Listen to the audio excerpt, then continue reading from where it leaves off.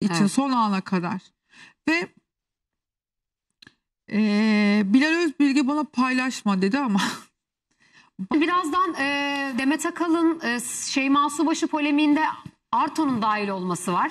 Arto'ya canlı yayına bağlanabiliriz çünkü e, Demet Akalın ağza alınmayacak laflar söyledi. Birazdan yayınımızda olacak onu vereceğiz. Arto? Ama öncesinde e, Pars vefat etti. Ebru Şallınoğlu vefat etti ama haberler durmuyor. E, Uğur Akkuş'un özel bir açıklaması var. Sorduğumuz sorulara yapımcımızın sorduğu tüm sorulara cevap verdi. Önce bir VTR'de o dedikoduların doğruluğuna bakalım. Sonra birinci ağızdan verilen cevapları söylemezsem olmazla göreceğiz.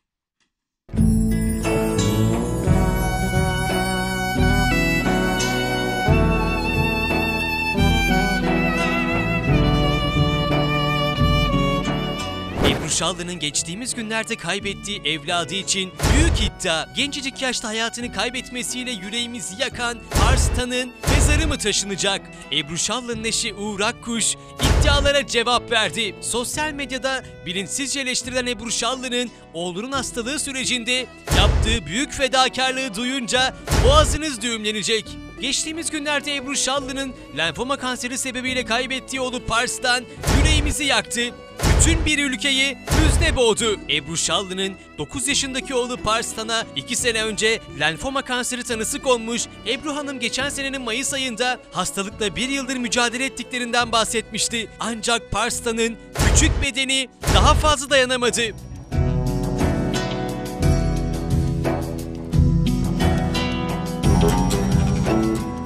Eylül ayında 10 yaşına girecek olan ancak 10 yaşını göremeden melek olup giden Pars'ın cenazesi Kilyos mezarlığında defnedildi.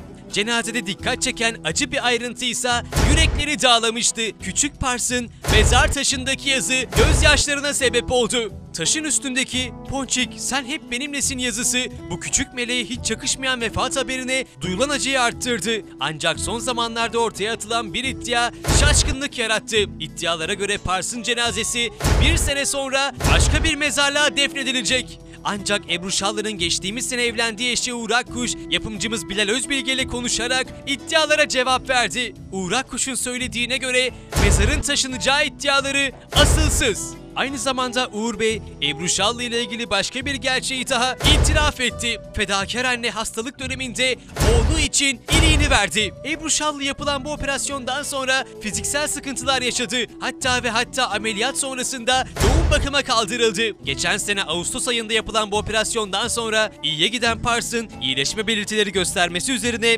Ebru Şallı Uğur Akkuş'la evlendi. Uğur Akkuş'un aktardığına göre eğer oğlu o dönemde düzelmemiş olsaydı Ebru Şallı evlenmeyi aklından bile geçirmezdi. Ancak ne olduysa son dönemde oldu.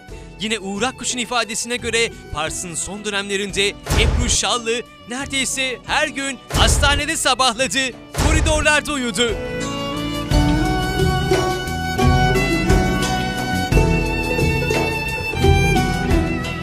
Gerçekler bir yana oğlunu kaybeden Ebru Hanım'ın son yaptığı paylaşım yürekleri dağladı. Bir 23 Nisan'da oğlu Pars'ı sunduğu bir programa davet ettiği görülen Ebru Hanım'ın paylaşımında Pars'tanın masumiyeti ve tatlılığı görenlerin boğazını düğümlüyor.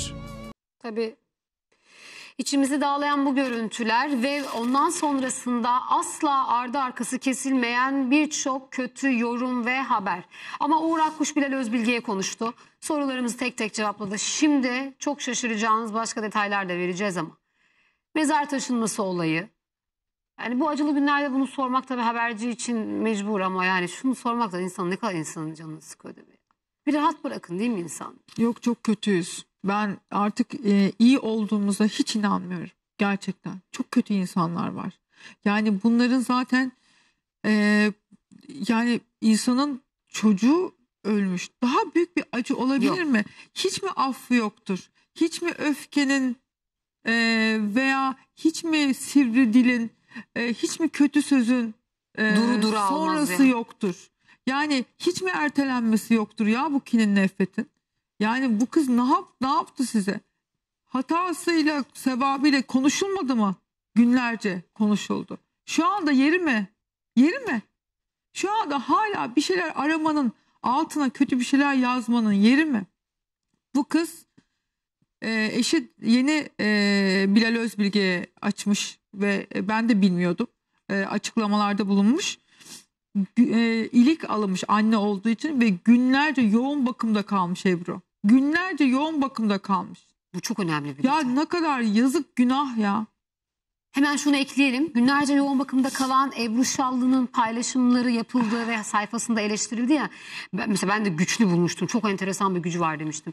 O yoğun bakımdayken dahi kendi ajansı, sosyal medya ajansı paylaşımları eski görüntülerinden yapmış. Evet hep eski görüntüler. Kendisi değil yapan. Paylaşan kendisi değil. Bunu da çok bu konuyu merak eden insanlara söyleyelim. İçiniz rahat olsun. Yani Ebru Şallı bir paylaşım yapamamış. Ayrıca da bir şey söyleyeyim mi size? Yapsaydı da sizin anlamadığınız bir şey var. Bir anne yani ben size kadar anlamayabilirim ama anne olanlarınız bunu bilir.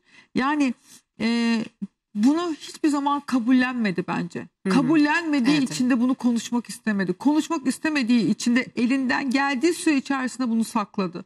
Çünkü hep ümit etti çocuğunu kurtaracağını. Yani hastane koridorlarında uyu, uyuyakaldı. Her gece sabaha kadar hastanedeydi.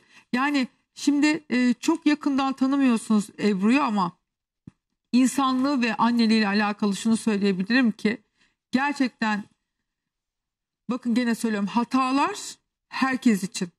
Hata yapmış olabilir, o olabilir, bu olabilir bu. ama konuşulacak zamanı ve yeri değil. Ve Ponçiko'ya çok düşkündü. Öbür büyük oğlu daha çok babayla Baba. beraberdi. Ona da çok düşkündü ama baba onu alıyor tenise götürüyor, İspanya'ya götürüyor bilmem ne falan. O bir e, daha babaya benzeyen huyları. Bu da daha anneye benzeyen ve anneyle yapışık kardeş gibi olan bir çocuktu. Şu anda Ebru'nun psikolojisi çocuklar bitmiş, normal değil. Hiç kendinde falan Allah. değilmiş yani. Yani yazık günah ya.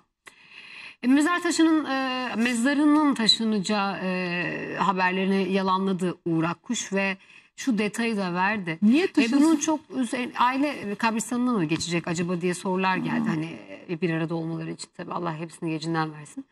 E, şu sorular da çok tabii e, sosyal medyada döndüğü için bunu da ister istemez refleks olarak açıklamak istemiş. Sorduğumuz bir soru değil. Bilal Özbilge'nin de zaten kendisinin bildiği bir şeydi.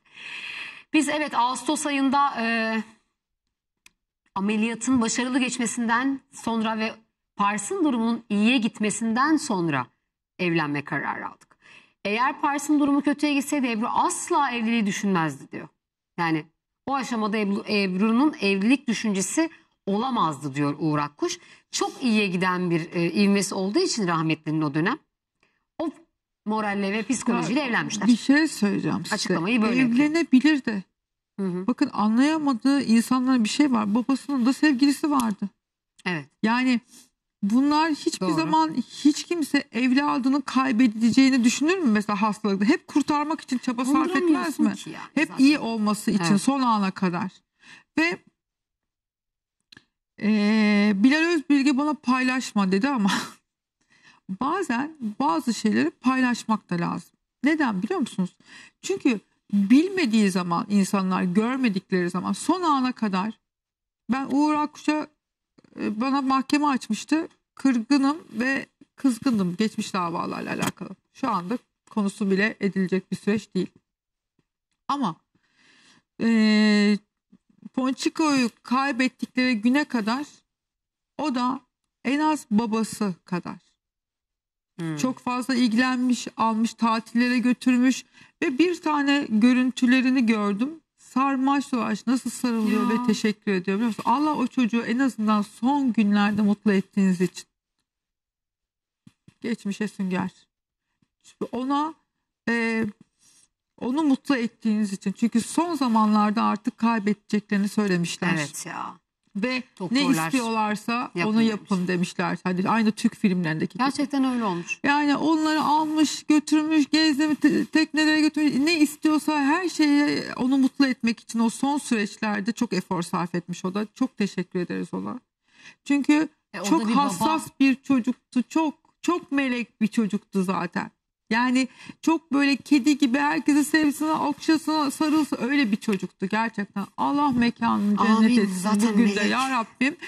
Annesine sabırlar versin ama arkadaşlar Ebru'nun durumu çok kötüymüş. Ve Yani günlerce. siz şeye çok alışıksınız biliyorum. Acitasyon yapanlara, bu her şeyi gösterenlere, rol yapanlara, oynayanlara e, veyahut da acısının her dakikasını da sizinle paylaşanlara. Bakın bazı kadın vardır paylaşınca rahatlar. Bazı kadın vardır saklamak ister. Konuşmayınca rahatlar. Evet. Yani bir tanesi göstermek ister, bir tanesi saklamak ister. İkisinin de belki yaptığı şey kendi muhafazası. kendince e, kendine göre yorumlamaktır hayat. Ama bazıları tam tersi. Siz bunlara çok alışıksınız. Siz oynayanlara inanıyorsunuz. Yani şimdi bu kız bu süreci her anını sizle paylaşmış olsaydı bugün belki o ortalığa çıkarttınız Ebru'nun çocuğu kaybı e, kaybettiğiniz zaman. Ortalığa çıkardınız ne oldu nasıl büyük bir şey geldi başına diye. Ama göstermedi. Ya bak ilik nakli yapılmış. Günlerce yoğun, Yoğun bakımda, bakımda kalmış, kalmış. Birimiz duymadık. Ha? Kendisi girmiş ya kendi ameliyatı. Günlerce yoğun bakımda kalmış. Bir de hemen hemen her gün koridorda uyumuş hastanede. Mesela bak bunlardan hiç haberimiz yok. Ee, o kadar güçlü durmuş ki hep çalışıyor imajı. O ajansın yaptığı eski paylaşımları bizim yeni sanmamız. Bu imajı yaratan da kendisi. Evet. Demek ki onun muhafazası, onun koruması kendi içinde şöyle. Ben iyiyim. Evladıma hiçbir şey olmayacak. Bu hastalığı kabul etmiyorum kendi içimde. Tabii, tabii, o aynen gücü insanlara ya da sevenlerine öyle vermiş. Günlerce koridorda yatmış. Ve siz o Anne yüzden yani. hani bunları gördüğünüz için ona acımıyorsunuz şu anda. Ama öyle yapmayın. O sadece bunu göstermek istemedi. Sadece bu süreçte onun iyileşeceğini düşündü ve çocuğuna kanser denmesini istemedi. İstemediği için de saklamak istedi. Çok haklı. Şu anda da siz bu yüzden o görüntüleri ve o halleri ve neler çektiğini görmediğiniz için ona şu an acımıyorsunuz. Ve çok haksızlık ediyorsunuz. Bakın Ramazan'a giriyorsunuz. Gerçekten Ramazan'a giriyoruz. Birazcık artık e, insaflı olalım. Gerçekten. Yani insaflı olmamız gerekiyor. Bir, bir tık ötesi yok ya hani ölüm sonrası yok ya. Artık böyle bu e, kini öfkeyi de bırakalım hepimiz için hayat. Şimdi